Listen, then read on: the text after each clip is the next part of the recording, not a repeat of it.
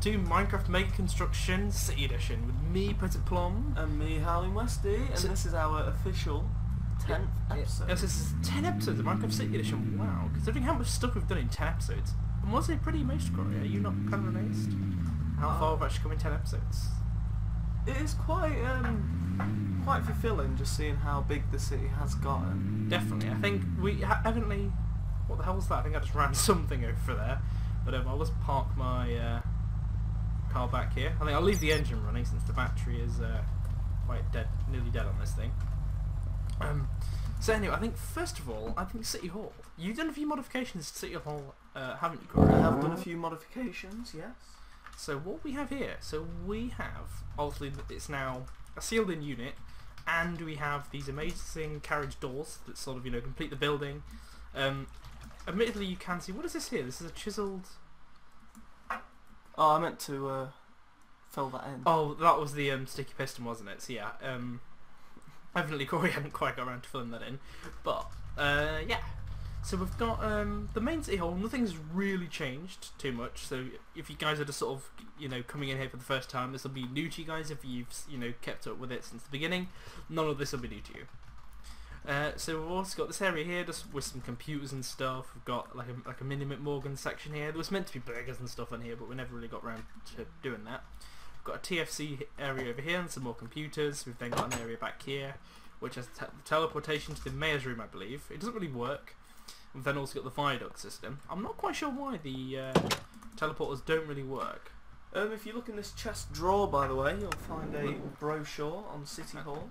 Uh, I'll just go and show everyone the, the mayor's office first. So this is obviously me being Mayor Plum.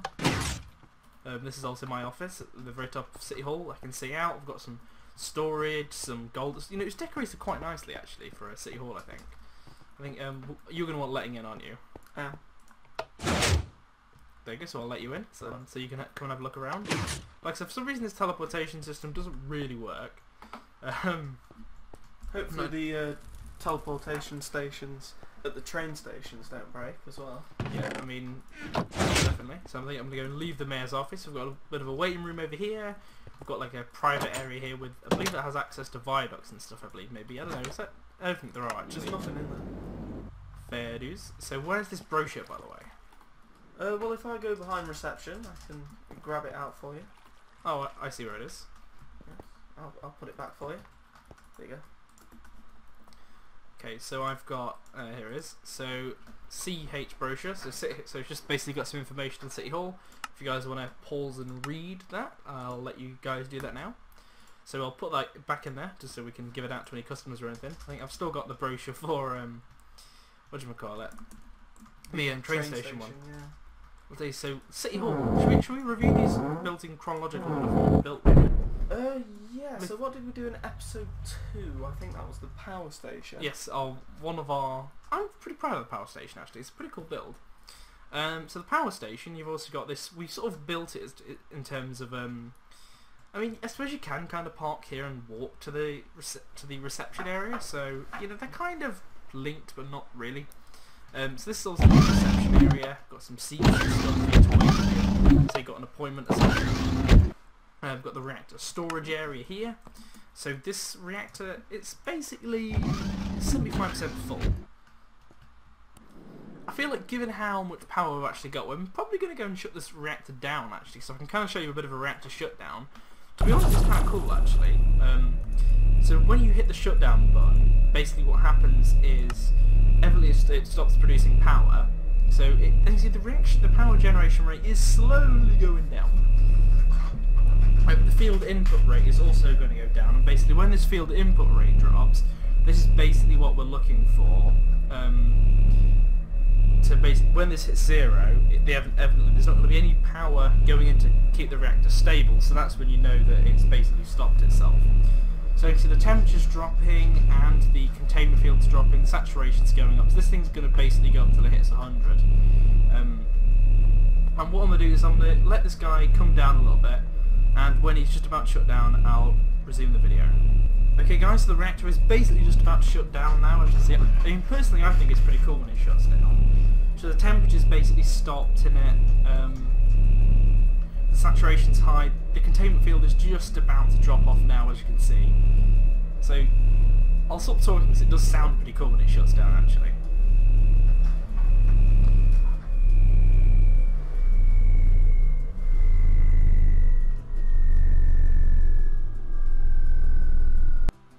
There we go, so that's the reactor shut down. I can't actually interact with it yet until it's actually cooled down a bit. So what I might do is, because I think I have been refueling this guy periodically, but what I might do is wait for this guy to cool down and just see how much wears actually on this reactor given how we've, you know, we've got, we've got a lot of power out of this guy. We've had this reactor for 351 days, is Yeah, it? th yeah, 351 days since we've had an accident now. It's pretty impressive, I'm not going to lie. So are you sh wait, cooled down enough yet? Nearly. So I'll wait for this guy to cool down and I'll be right back. Okay, so the reactor is nearly cooled down now. It's just above 100, 100 degrees C. So I believe, there you go, so now it's basically cooled down now. It's basically not quite room temperature. So to be fair, it, had actually, it has actually used quite a bit of fuel. It's got a bit, quite a bit of, it's got a little bit of chaos in it. So it outputs chaos fragments, and then obviously inputs the awakened draconium blocks. I don't think it really needs refueling if I'm honest. I might just, uh, so it, I'll show you one thing. I'll, I'll quickly show you it booting up, then I'll quickly shut it down again. Because we really don't need this guy to run, given how much power we have.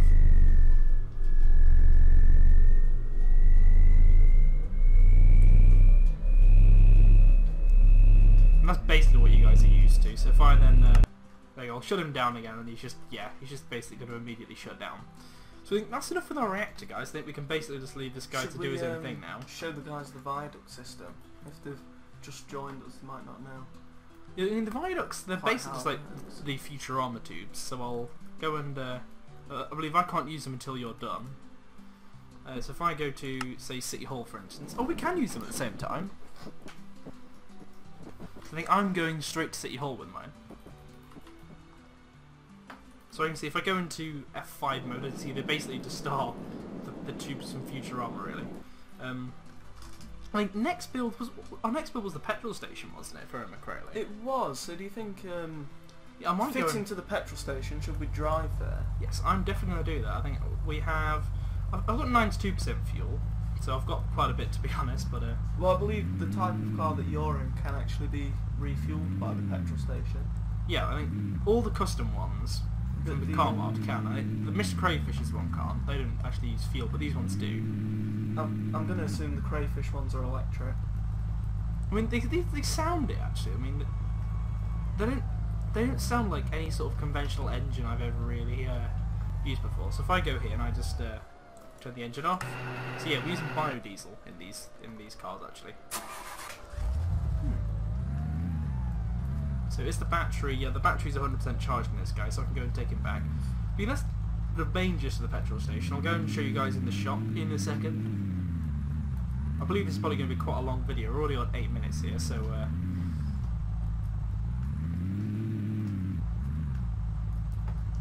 So I'm in the shop right now and we have quite a big selection of things you can actually buy. yeah, so I believe it's a Westie Mart if I remember. It is a Westie Mart, yes. So I've just got like... Well, it's, it's, to be fair, it's quite luxury for a uh, petrol station if you ask me. In terms of got wine, fruit, milk, fish, bread, cakes, beer in the coolers, sunglasses. Should we uh, show the guys some of the Some stuff that we're selling? Uh, yes, so we've got some uh, Polaroid cameras, which are pretty cool. Uh, so I've got uh, so we've got the re- cash register here. I've got the ATM. I've got the toilets at the back, which are pretty cramped if I'm honest, but they function as toilets. I mean, it is a petrol station. We've got the refueling area. Um, well, the main tank is under here, where the fuel actually comes from, and immediately refills um, all the pumps. This is also the refueling area, so a lorry will come in and then dump his fuel into there, and it'll go straight into the lines. Next, I want to say we had the motel. Next, I want to say. I want to say motel is episode four. Yeah. Yes, episode. So the motel. Episode four was a weird one though because uh, part two came out after episode six.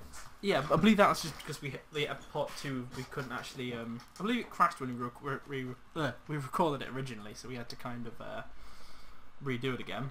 So this is the uh, sort of the outdoor area. We've then got normal suites and we've also got the plum suite. So I'll show you, show you guys in the main reception. Got some NPCs and stuff. Just you know, it's a nice little reception. Park. A standard suite. I believe all the suites are the same, aren't they? The standard ones. Yeah, I mean, we'll show you two just to see if you can spot any differences between them. But I believe they are basically the same. Yeah, so they're near enough identical. Do you feel like we've lost the paintings that were on the wall? I don't know. I think eyes. No, eyes. The paintings are still in my room But the standard room seems to be missing this. Because this is the executive plum suite, and you've got the executive howling westie suite underneath. Which I uh, must say I'm quite proud of. Yeah, I do quite. I mean, the chairs I can't say look overly comfortable. The wiggly chairs, but um, I mean, it kind of. I kind of like the, the westie suite. Yeah, it's a bit more retro than the Plum Suite. Plum Suite seems to be all high tech and new. Yeah, agreed.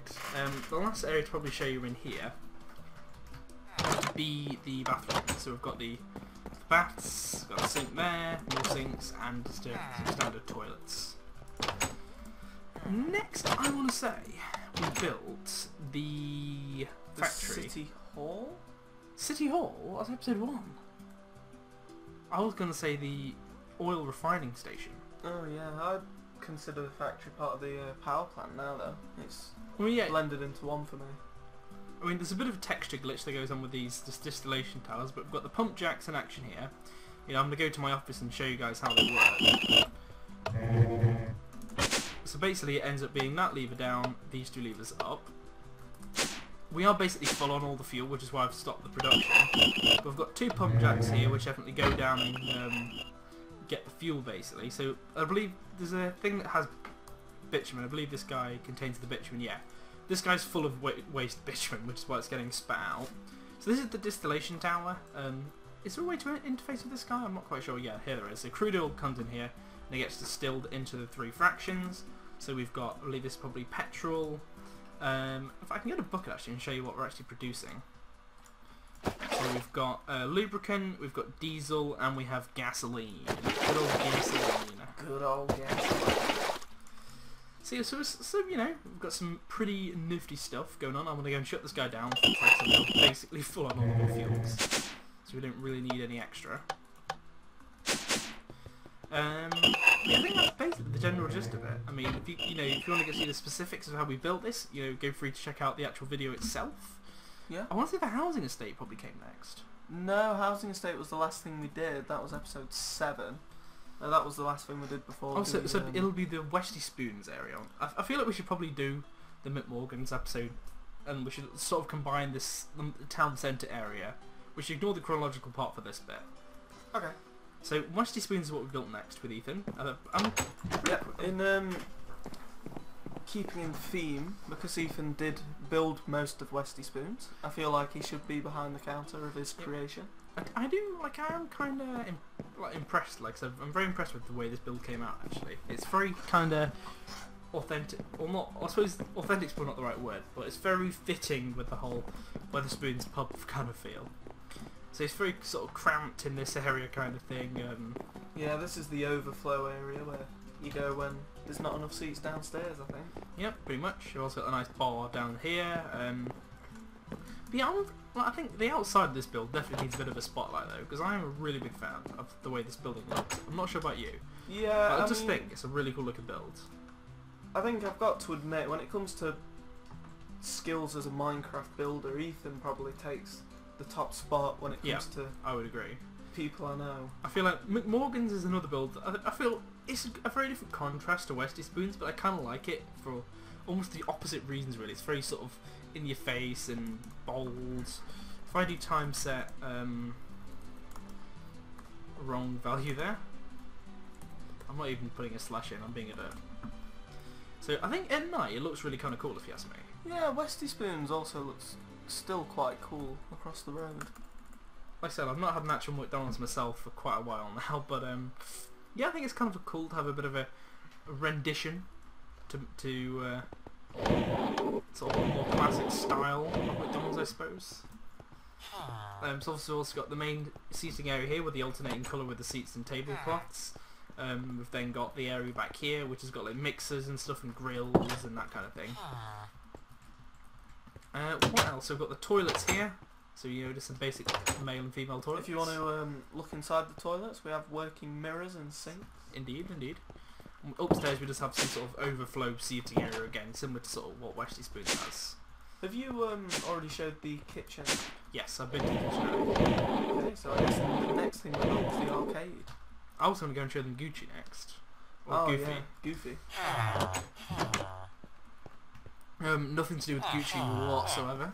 No, this is more of your um, budget clothing sh- Yep, so just got some NPCs that were all over the counter. Um, there's probably a robbery or something going on in here, but... Um, So I think next I would agree sort of music and arcade stores would be next. So let's do the music store first. So it's not fully furnished as far as I'm aware. yeah, we still haven't finished the uh, music store since you saw it two So- episodes ago. So we've got some album covers, we've got some, uh, mu- we've got music light behind the counter, we've got a chest with um, just the uh, album covers. Um, upstairs it's just still, it's not been fully furnished yet, but it's just kind of like a bit of a overflow area again. In the arcade, um, which you built. I did, yeah. We've got the mini football table, which I'm amazed you actually did this. Got the air hockey table. Uh, I don't know how you quite had the patience to build this thing, which isn't a bit, but uh, um, definitely a bit of a feat, I must admit. Yep, we have the uh, the Pac-Man machines. Yeah, so we've got Miss Pac-Man and Pac-Man, and we've got the dance floor machines. Yeah, and of course, if you ever want to fight me on DDR, I feel like next probably the train station. I mean, it, it, should, should we give a, a quick shout out to our city centre and yeah, I well, we're not actually yeah we've got the plum statue and yeah, the main city centre, I suppose. I think yeah, as much as we built this last episode, I think the train station does need a bit of a spotlight. Um, pretty cool, in my opinion. Anyway, we've got the teleportation room, which leads you down to the pit on the other side. I'm not going to go down the rail since this is just you know a tour of the world. If you I want to go see mean, this, I feel like we could go down the rail just to show them, and if they don't want to see the full rail, I just think it, I just think in terms of time of the video. Um, Okay, well Yeah, I maybe, think- I maybe think- we'll yeah. do it at the end. Yeah, I think if you you know if you want to go and uh, watch the rail, you know, I'll leave a, uh, a link to the playlist in the description box below, so you guys can go and check out that in video in, individually. So I think I'll go back up to the teleportation well, of the city train station, and give you a bit of a tour.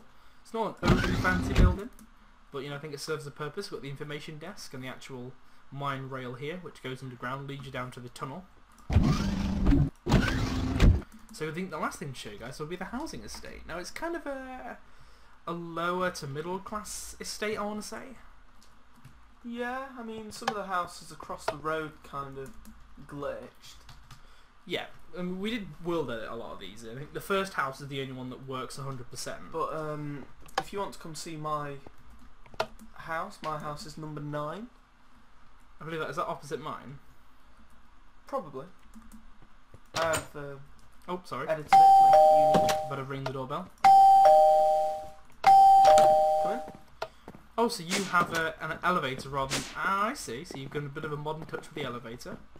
Nice. I mean, I think your mirror's a little bit broken. Yeah, I still haven't. Uh, we've got a plumber coming to fix the bathroom. You also appear to have a floating uh, towel rail. yeah, well, And y Oops, y your shower is also facing the wrong way. You can't actually enter the shower, but yeah, well, I haven't had a shower in, in years. you've also, you've also got no doors, and your TV isn't actually showing anything. That's fine. The the kitchen's still fine. But I think I'll show you guys sort of the, the more stock model of a house. So I think number three is probably a stock model house. I think. Well, we could show your house, uh, number four. Well, I mean, i I guess we could. I mean, it's the exact same as number three, really. But I think I'll enter through the garage. The.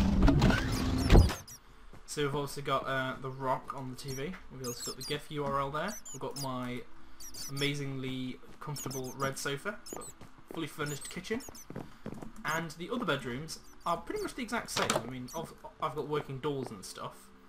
So I've also got the aubergine on the TV. Got the kids' bedroom over here.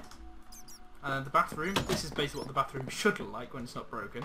So there's the mirror and stuff, there's the working shower. Pretty cool if you ask me actually. Uh, and then we've also got the bathroom cabinet. So I believe that's basically the entire world, Corey. Would you agree? Well, um, we haven't quite showed the pit in its full glory. I mean, I guess we could go over to the pit actually. Um, so I feel as the last thing to do in this episode, we should ride the train. Oh, you want to ride the train in the video? I think I'll ride it up from the pit all the way up. I think. I think Yeah, we if- didn't quite show the full perspective of that in the last episode, did we? Yeah, I think if you got, you know, like I said, if you want to go see more details of the actual train and stuff in its full glory, then you guys can go check out the uh, last episode.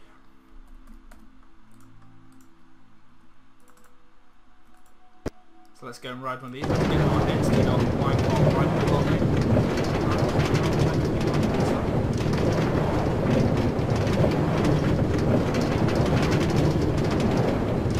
So yeah, it's quite a long journey. That's why we built the tunnel. Yeah, so it's definitely more of a novelty car than anything else. Yeah, like we said in the brochure, it's more of a vanity. I mean, there's the previous one car. I'm now basically just pushing along. Oh, okay, it's done. So we're on the final stretch. Final stretch.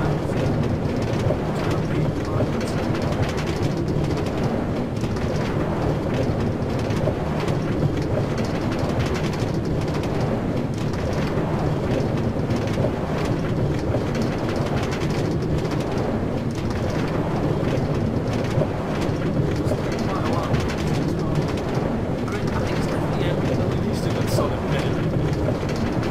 Okay, so I've now arrived at the train station.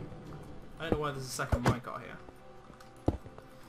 So I think that basically concludes the video, guys. I mean, that's basically everything from nine episodes. Say this is a year's work. Basically, yeah. I mean, in terms of time since we started to time recording this video, it's nearly been a year. Yeah, I mean, it's not had a year Because it's- spent on it though. I mean, So it's the been a seventh lot of July as recording, uh, seventh of July 2019 as of us recording this video. So thank you for watching, guys. Hope you've enjoyed. Goodbye from Pet Plot. And Howling Westy. Built an empire of stars